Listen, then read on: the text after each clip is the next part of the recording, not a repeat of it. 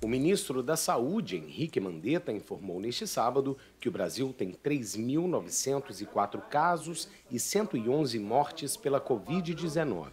Ao completar um mês da primeira detecção da doença no país, o Brasil somava 77 mortes e 2.915 contaminações. O primeiro caso foi registrado em 26 de fevereiro.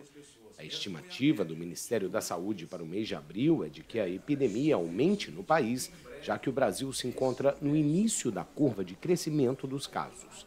O novo coronavírus deixou mais de 30 mil mortos em todo o mundo, segundo uma contagem da AFP, com dados oficiais divulgada neste sábado.